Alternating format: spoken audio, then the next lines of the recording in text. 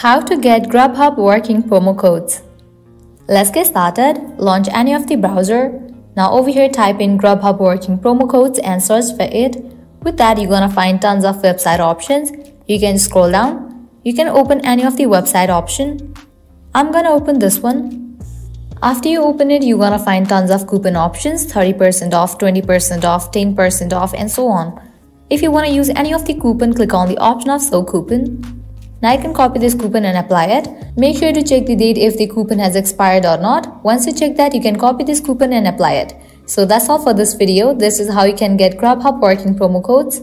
If this video was helpful, don't forget to like, share and subscribe. Thank you.